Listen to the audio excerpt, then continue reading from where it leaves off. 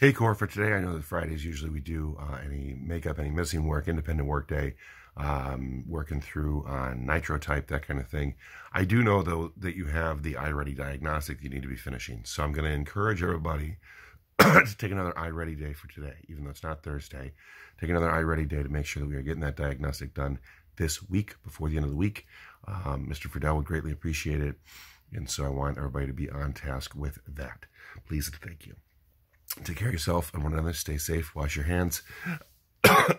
we love you. I will see you next week.